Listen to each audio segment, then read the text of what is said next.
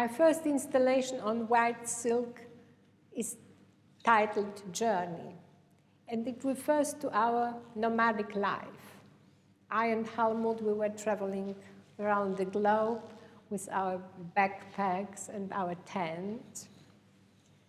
With the tent we often put next to the sea or next to a lake, next to water. And the silk was bought in Shanghai in 1980, then carried around the globe and traveled several times across the Pacific and across the Atlantic to finally come to Wrocław.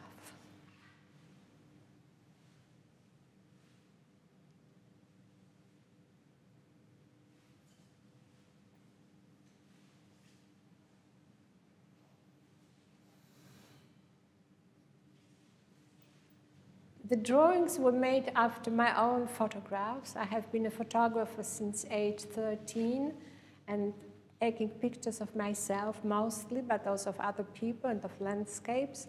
So after the uh, photographs taken while we were traveling, I made drawings and with pencil and covered them with acrylic, white acrylic paint. So the technique is white on white white acrylic paint on white silk.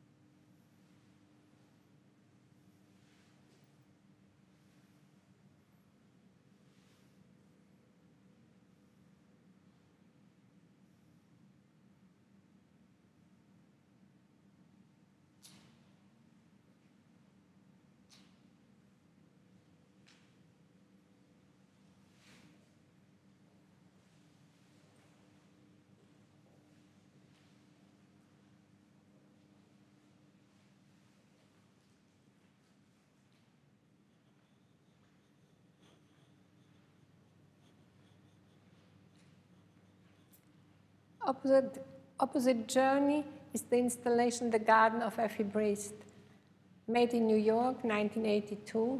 It's my last installation made from the silk, from the white silk I bought in Shanghai when I was teaching at the University of Nanking. The story of this installation is based on one of my favorite novels, a novel Effi Briest by Theodor Fontane, published at the very end of the 19th century. It's one of the great novels about women's enslavement and women's emancipation.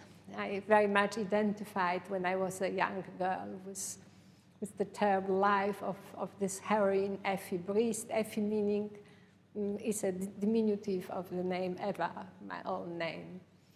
She was not as fortunate as I am. She never had any freedom, and she for a little bit of freedom she had, she paid dearly. And she died young, looking at her garden, because that was her little paradise when she was young, when she was dreaming about the future, and when she was swinging. I too like to swing. There were swings just around the corner from, from my apartment in New York, next to the Cathedral of St. John the Divine. And so I took the pictures of the swings and then I made them. I made the drawings of swings on, on silk. In art and literature of the 19th century, the swing was often used as a symbol of women's little freedom. The freedom they were given when they were young girls or when they were already fallen women, prostitutes, or maybe maids, that all serious women, wives, etc., were not really allowed to swing, the swing giving a little bit of space to a life that was really very much limited to the four walls of one's home, to the small garden one was living in, while the swing was swinging somewhere into the sky.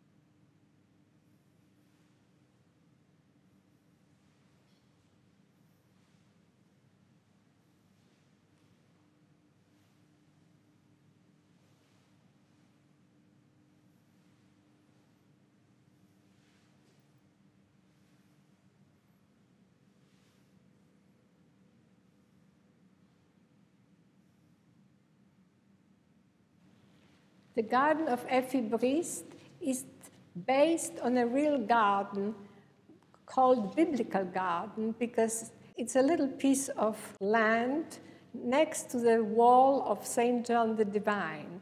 And apparently, somebody from the church planted on this little bit of ground all the plants mentioned in the Bible.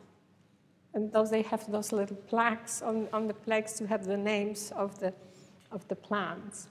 And it's a closed little garden with one bench where in the fall of 1982, I spent a lot of time. I was playing chess with myself. I was trying to domesticate the squirrel by feeding it, and I reread the novel by Fontane, Effi Briest. And that was finally the inspiration to do this installation, which had the size of the biblical garden and of my place, of my own room in the building, of my bedroom. And so for the first time, I put the installation for my friends in my bedroom. It was, it was a little bit squeezed in, but ultimately it was rather nice too the installation, The Garden of Effi Briest, ends with the figure of Effi nailed to the wall. She's probably around 30, feels like an old woman. She, has, she had just one short affair in her life, but that was enough to be completely removed from society, from her husband's home, from her child, and now she's in exile in her parents' house and looks at her garden and the swings. She isn't swinging anymore, she's dying and remembering the time of dreams and freedom.